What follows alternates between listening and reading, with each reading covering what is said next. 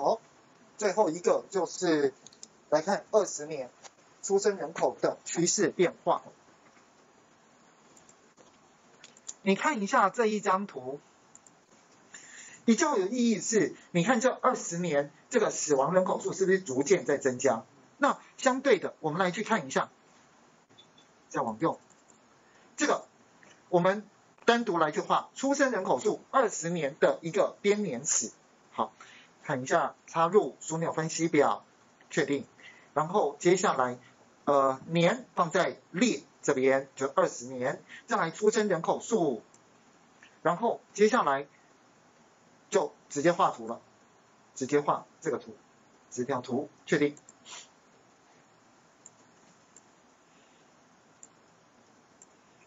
我们的少子化确实确实是事实，但是你有没有发现这几年在推一些就是育儿津贴的政策，也确实有奏效。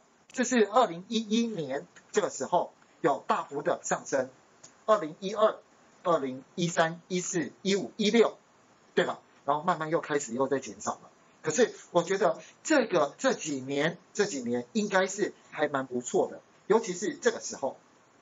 接下来就要来去看那个比例了，比例这件事。我们先算死亡率。请问一下哦，在这个地方，这应该叫做。二十年的出生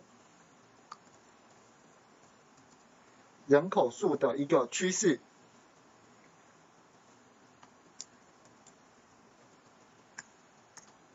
可以吗？这个相较于相较于这个了，二零二零年死亡的人口数趋势，这是这是这二十年的趋势，我觉得这张图还还蛮。有有它的价值哦，好，所以有一些好的那个社会政策应该可以帮助，是是有帮助的。好了，那我们接下来就继续来观看一下，呃，各位，我们刚刚讲这个人口数，不管我们的出生或死亡，它算的都是这个行政区无分性别的人口数，对不对？你看，像这死亡人口数没有分性别。所以我这边这个人口数我也不能，呃，就是就是这个松山区啊，这两个数字要加起来就对了。好，所以呢，呃，我应该应该要再进一步的整理，也就是说，我可以透过插入枢纽分析表，确定，去把人口数整理，我要的是。性别不要，我只要那个民国行政区，然后的人口数，因为就好像说我们在这个死亡人口数这边，它也就是民国，然后行政区，然后死亡人口数，对不对？好，所以你怎么做到这件事？我是不是要整理出来，就是人口数是民国加行政区加人口数这三栏？好，首先，首先就是我必须要先去做枢纽分析，然后接下来呢，人口数里面，哎，这边我要放的是各民国年，然后还要各行政区的人口数，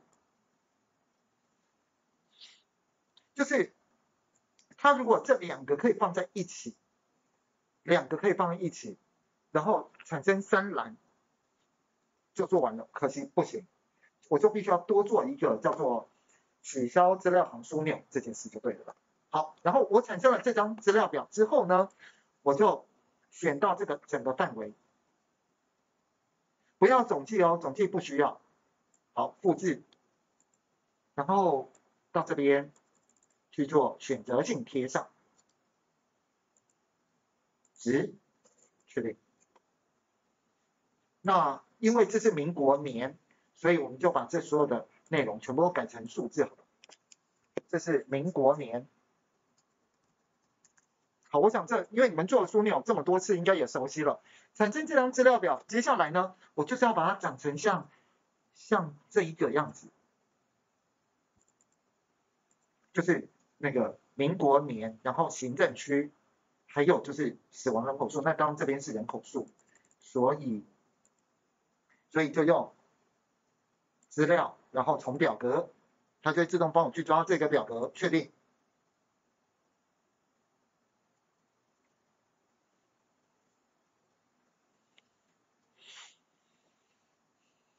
然后接下来这是民国年，那这些行政区然后就全选，选到万华区去做转换底下的取消资料行枢纽，然后请改名字，请改名字，这个叫做重新命名，这叫区行政区，这个叫做人口数。然后请把它改成改成整数。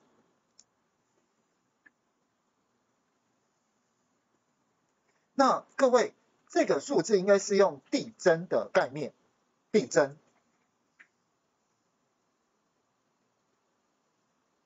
递增八十六，一直到对不对？那相对的，请问一下，这边递增了，行政区这边。行政区这边是不是也要用递增的概念？所以这边的排序它就没有两栏之间的一个排序来得好。所以我们等一下回到 Excel 那边再做排序，常用底下的这个关闭并载入。然后这这张资料表叫做人口数，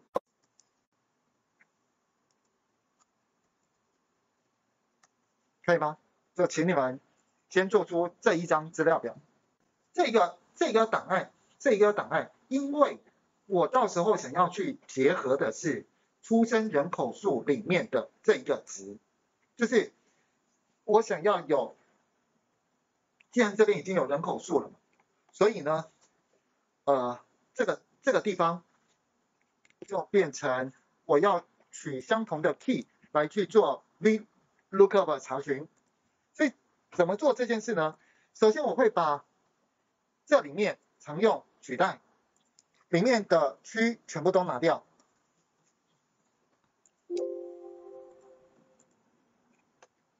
好，那也就是八十六年文山，八六文山，所以我在这个地方我会增加一个新的名称，新的名称叫做这一格 and 这一格，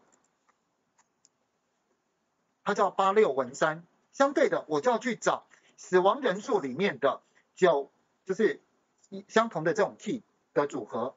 所以在这个地方呢，因为表格比较的关系，一定要插入到这个死亡人口数之前，所以一定要插入在这里，等于它 and 这个，这个叫做。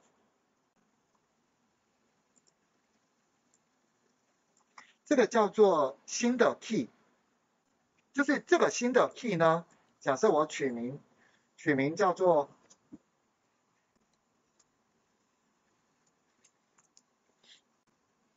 这边也需要有一个新的 key，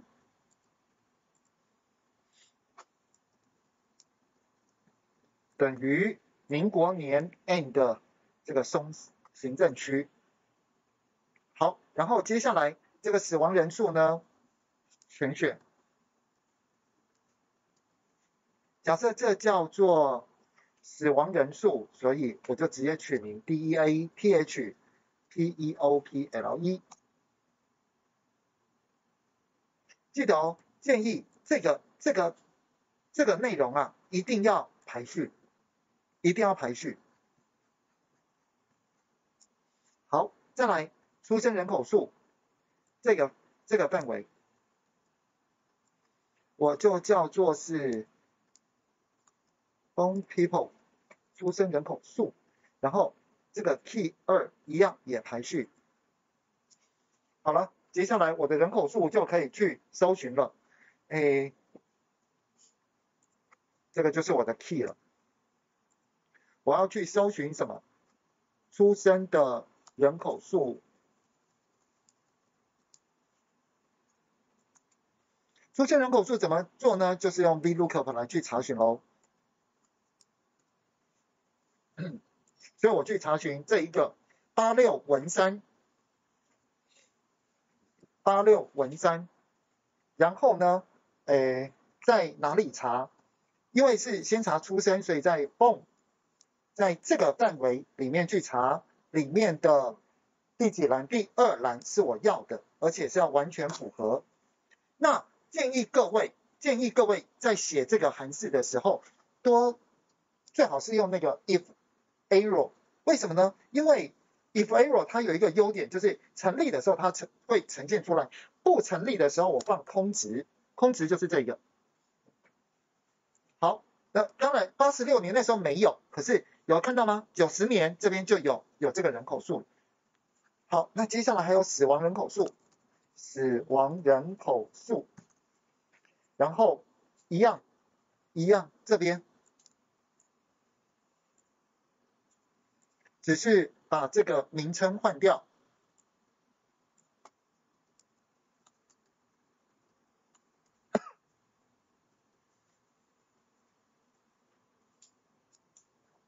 好，其他都不用变了，一样也是用这一个来去找，可以吗？就就全部都算好了。好，然后因为这一段这一段呃那个我把率算完，我放上去放到成立，你们就去下载，我们再去画那个图照了。你看哦，接下来就是出生率，出生率的计算，出生率。出生率等于什么？等于就是这一格出生人数被人口数来除，Enter。记得，if error，就是如果没有这个数值就不算了，可以吗？然后那死亡率呢？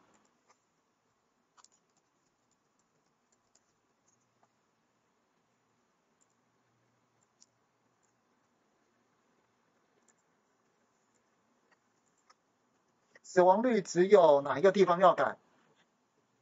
这个，这个要改成这个。好，Enter，就算完了，可以吗？但是我建议这两栏的格式内容要用百分比，然后通常百分比我都会就是增加小数位一位，就是呃我只会呈现到一位。好，等一下，我们就是拿这个，拿这些内容来去画图就是了。